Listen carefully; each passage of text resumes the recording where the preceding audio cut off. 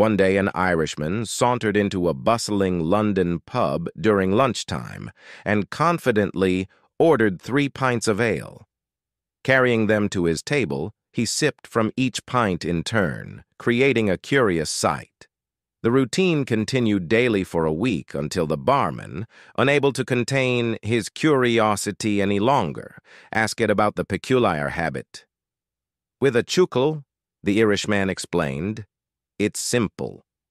I have a brother in Dublin and another in New York. We've made a pact to drink like this to keep each other in mind. Months passed, and the Irishman became a beloved regular at the pub, his ritual becoming part of its charm. Then, one day, he entered and ordered just two pints of ale.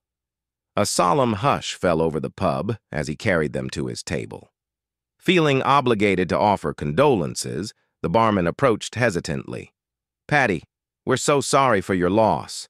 If there's anything we can do to help... The Irishman's confusion turned into uproarious laughter. No, no, my friend, I just quit drinking.